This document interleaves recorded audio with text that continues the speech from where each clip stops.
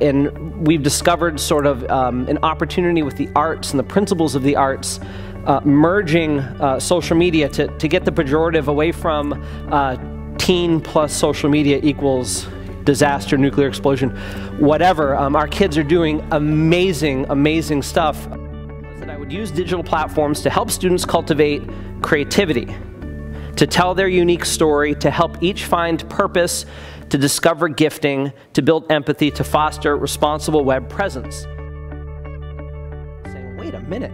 Uh, what we do in the visual and performing arts is ubiquitous. I mean, the abstract thought processes, the, um, the thinking outside of the box, the innovation, we're doing it. We're doing it in the arts. This is what really has value.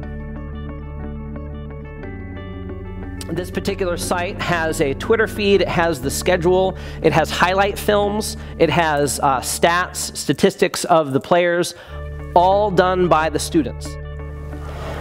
Student who wants to go to fashion school, I have a professional photographer in my midst. You know, I, I have a, uh, a, senior who uh, she assists a master photographer at a studio, and she has an online portfolio. These kids all have a URL to say, would love to attend your school, um, seeking scholarship. Uh, would you take a look at this? And they do that, and they get scholarships, and really great things have happened these kids are making huge impact. This is not teen plus social media equals liability. This is this is changing this is changing the world.